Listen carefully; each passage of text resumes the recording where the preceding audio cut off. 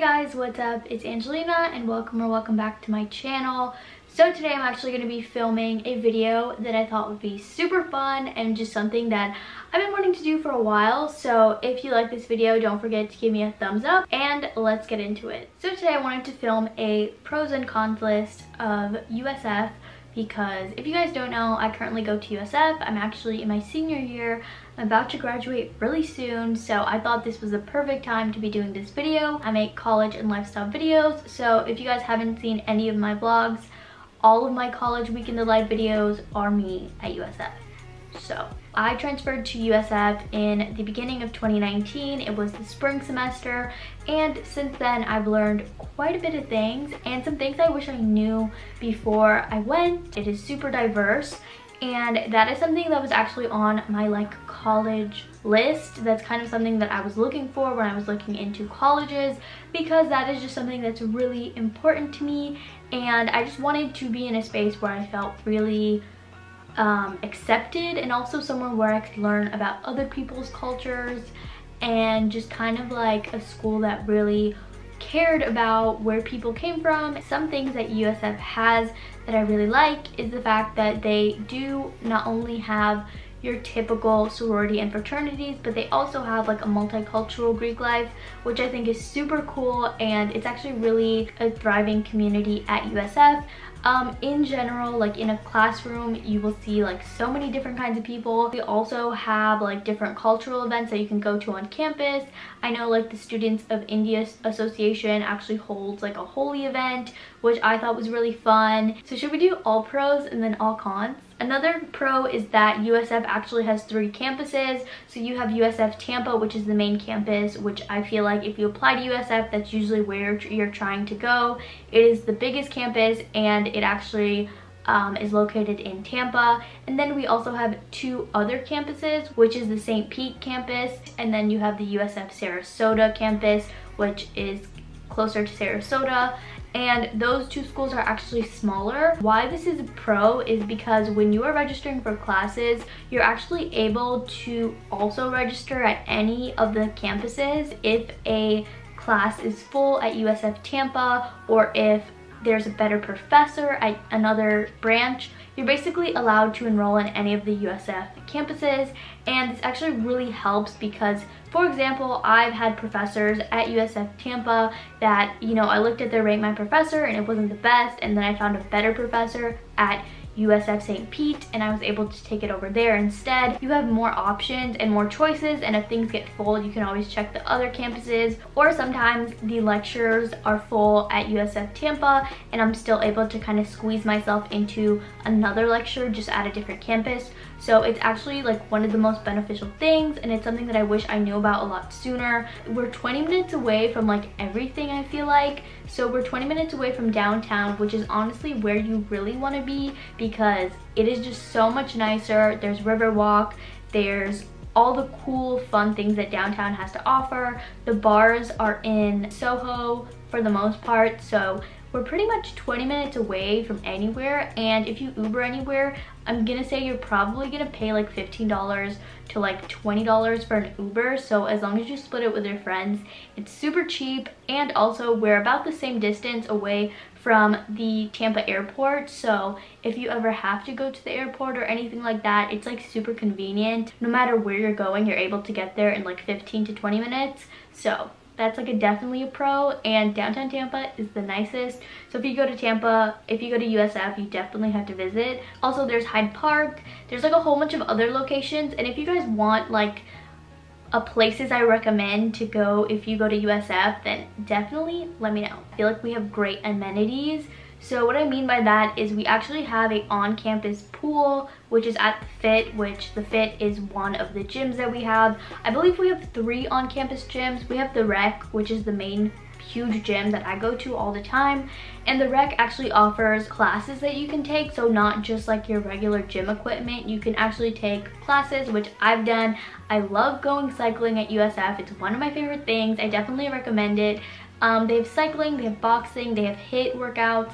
They have so many different things that you can actually register for. I believe it's free as long as you don't cancel, but you do it through your student account and so you can you're able to see the schedule and for like all of the classes you choose and as long as you register for your spot you have a spot and all you have to do is show your ID at the door of the class. I've done yoga, I've done um, I've done yoga, I've done Zumba, and I've done cycling, and so far cycling is my favorite. So I think it's really cool that USF offers like classes because I know if you're like me, you probably want to take like cycling classes downtown and those can be super expensive even though I will say those are like really nice. The library is opened pretty late and I'll have the library schedule like the regular schedule on screen. I believe we also have um, a time when the library is like 24 hours. So that's cool because when I went to another school, they actually didn't offer like the library to be open that late. And if you do stay at the library late, you actually just have to there's like a guard at the front and you pretty much just show them your ID and they let you in but I think it's really safe because they don't let just like anybody walk in at night. Also a cool thing about the library as you get higher up it gets quieter but it also gets nicer and doesn't look as like dusty as the first two floors but if you want to be louder you have to be like within the first like two or three floors so keep that in mind. We actually have new dorms and at a lot of the Florida schools you'll notice like the dorms are like not that great um, they kind of get like dusty and crusty after a while and some of the Florida schools have been around for so long and they have not updated their dorms or built new dorms and USF actually has a new or like newer area of dorms. It's called the Villages. So nice. I will include any videos I have of me studying at the Villages. I've had friends that lived in the Villages instead of living in any of the other dorms, like the traditional dorms that we have, the normal dorms, I would say, like Beta or Maple, which those are pretty common dorms that have been around for a while, but the newer dorms are so nice, okay? And, and and we also have on campus Publix that actually just opened up. It's right next to the villages.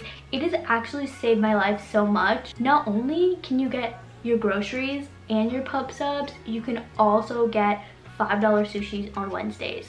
So the Publix on campus has been like a lifesaver and even having an apartment I still do my grocery shopping there. It's actually a short walk away from the student union which I spend all my time in there I think you guys know. Um, we actually just got some new restaurants there so I'm like giving you the whole shebang about USF right now. Okay, we have a Panera Bread, which is new and actually just opened up last semester. So there's Panera in there. There's also, um, damn, there's a lot of things. There's a Chick-fil-A. Oh my god, the new Chick-fil-A, you guys. Dude, USF is really stepping up their game. The new Chick-fil-A is really nice, okay?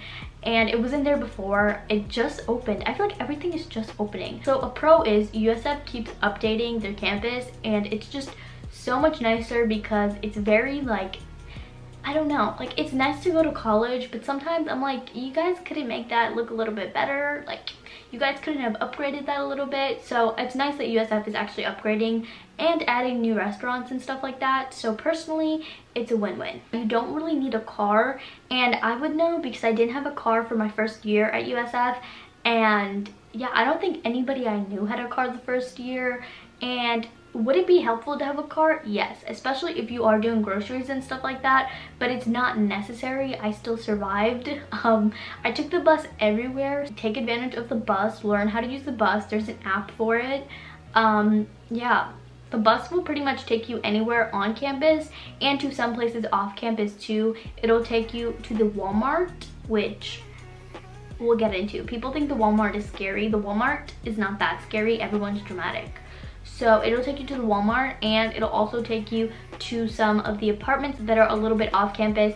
So if you live a little bit off campus, you're able to still use the bus. My apartment complex was connected to like the bus system. So I was able to use the bus which really helps because on campus it's really hard to find parking sometimes. And then something else that I added to the pros list is that USF is actually connected and partnered with some of the surrounding health things in the area. So what I mean by that is as a pre-med, it's really important that, you know, I go somewhere that I feel like the school has like connections to. So we have USF Health and we also have a on-campus Moffitt, which Moffitt is actually a cancer center and we have one directly on campus and we also have ones uh, like literally across the street from campus. It's beneficial because if you need to get volunteering hours or if you maybe even want to get a job at the hospital, there's a hospital like within reach and you don't have to drive super far or if you don't have a car you can always just take the bus or walk.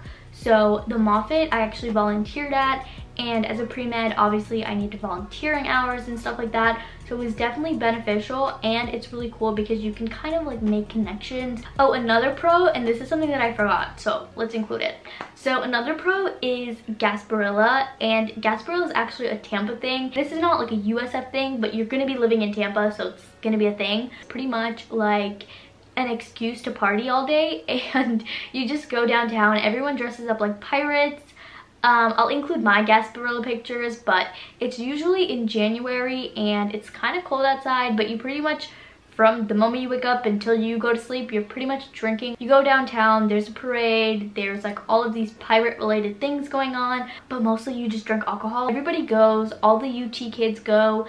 UT is the University of Tampa, by the way. Even people who don't even go to USF come down to go, like, and there's so many people and everyone is so like kind of like belligerent. So, you know, it's definitely not everyone's scene and I personally think going once a year is enough. Um but you know it is fun and it's fun to dress up and it's fun to kind of do day drinking if you've never done it. That's pretty much what i have for my pros list. I'm gonna talk about cons. I really hope i'm not missing anything because I wanted to make this as informative as I could while still also giving you like the real tea. so these are just my personal cons. I don't know if these are everyone else's cons, but let's get into it. One of the cons is smart lab hours. And you're like, what is that? This could actually be a pro and this could be a con, but we're just, we're putting it in the cons, okay? It has to be a certain type of math class, but I've taken pre-calc, I've taken college algebra, and I know Calc 1, Calc 2, Business Calc, and some other things. I think maybe physics, I'm not sure. But some of the math classes offered, you actually like once you enroll in the math class, they actually have a requirement of math lab hours. So the Smart Lab is located on the second floor of the library and pretty much you have to do a certain amount of hours every single week in that specific Smart Lab. So what you do is you sign in with your U number, which is your ID number, and once you sign in, it'll start kind of calculating the time that you spent in there. So it really depends on the class and the professor, but usually it's something around like every week you have to spend at least two hours in there. So, you know, whether you split that up among like 30 minutes every day or however you want to go one day and spend all the two hours in there, don't recommend that, but I would do that sometimes. Make sure you know what's required of you by your professor, but usually there's a certain amount of time that you have to spend in there and also there's certain things that can only be done in there because for your math class, there's usually going to be things that are IP restricted. So meaning that if you are in any part of the school or if you're using your own laptop you won't be able to take anything that isn't allowed outside of the smart lab range. You're going to be taking your exams in the smart lab and you're going to be taking your quizzes in the smart lab. Usually you can do homework in the smart lab or on your own laptop so you know no one's checking for you. But for the quizzes and for the exams you're going to be in the smart lab. And that kind of gets annoying because you know Sometimes you just want to be like at home or at your apartment doing your homework and doing your stuff but you have to get the allotted time and actually smart lab actually low-key helped me because i hate math and i think a lot of people hate math so i feel like that's why they came up with this. Because you're in there they actually have tas that walk around and there's always going to be TAs in there and they're there for one making sure that you're not cheating on your quizzes and your exams but also they're there to help you if you have questions with anything math related that's what they're there for. Probably without smart lab i wouldn't have passed math because i just hate doing math. So the fact that i had to sit there for two hours every single week and do some form of math really helped. Usf is not really huge on greek life. And that being said greek life does exist we have regular panhellenic greek life like the ones you see out of the movies. And we also have multicultural Greek life. So, you know, it's there, but you, you don't have to be involved in a fraternity or a sorority to be invited to things, to go to social events. It's honestly not as big as it probably is at other Florida schools. We have a Greek village. At UCF, I know they have a Greek row. The houses are huge over there, but at USF, the houses are smaller and it's just not really like a big deal here but that being said i know people in greek life they love it they do it um, but if you think that you have to join a sorority or fraternity to be involved or to be invited to things, you definitely don't. Um, I've definitely been invited to frat parties and stuff without even being in a sorority. So, you know, I put one of the cons as dining hall food. Like, could go either way. Because the dining hall food is actually good. Like, when you eat it, and I've eaten there so many times. We have multiple dining halls. We have Juniper Poplar, which I think is my favorite because the food is better, I think. And then we have the one that's by the Fit. So personally, my favorite is the one at Juniper Poplar. It's definitely more of a walk. And I think the people that live there is usually freshmen. So usually that's like the freshmen go there. But the freshmen can go anywhere. And if you live in the villages, there's one there that's right next to the gym, which is called Fit. So yeah, we have a lot of options. But I will say the food is actually good. Okay, the fries banging. Um, you know, they switch it up. There's like a salad bar. There's like so many different variations of things you can get. There's gluten-free options. There's a lot of things. But it's a con because you're going to probably gain weight or get bloated. So, you know, if you get a, a meal plan, it's kind of up to you. I never had a meal plan. I just kind of went in with friends and they would usually swipe me in. So I wasn't really eating it a lot. I did a lot of cooking and stuff. Um, but if you're a freshman and you're living in a dorm, you probably are going to get a meal plan. And the food is good, but be careful. That's it. We actually don't have a stadium on campus, so we actually go to Raymond James Stadium to look at football games. And this is actually not that big of a deal as you would think, unless you're someone who wants the stadium to be like on campus if you're gonna be there every day. USF actually does provide buses that you can get on to that will take you to and from the stadium. You just kind of have to sign up and do the whole thing. I personally never been i've never taken the bus to go to raymond james but you can do it. Um you can also drive your car and park there or you can uber which i've just ubered. The stadium is not that far away. It's about like i would say like 15 20 minutes. It's closer to the airport so yeah. Also it's kind of a pro because the stadium is huge because it's raymond james stadium not like a college football stadium. So, I mean, it is what it is. But, you know, if you're going to be tailgating and stuff, you usually have to tailgate on the lawn of Raymond James Stadium, which is what everyone does. So it is kind of a little bit of a drive, but it's really not too bad. So I just kind of put it because it's a thing. I know that right now a lot of you guys are exploring your college options. Know the T on where you're going. And if you are considering USF, I go there, I love it. You can always DM me any of your questions and I'm you know, I'm gonna be happy to respond to you guys. If you guys wanted to see my high school GPA and stats, I have a video on it. It's actually thriving right now for some weird reason.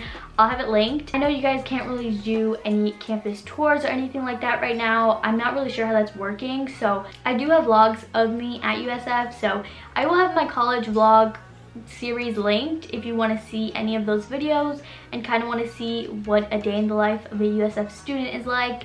And yeah, thank you guys so much for watching. And if you guys enjoyed, don't forget to give this video a thumbs up and definitely comment down below. And I will talk to you guys in the next one. Bye!